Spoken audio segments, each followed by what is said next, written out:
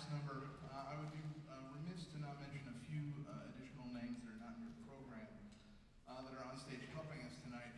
Um, first, in the percussion section, uh, please thank Josh McAtee for helping us out.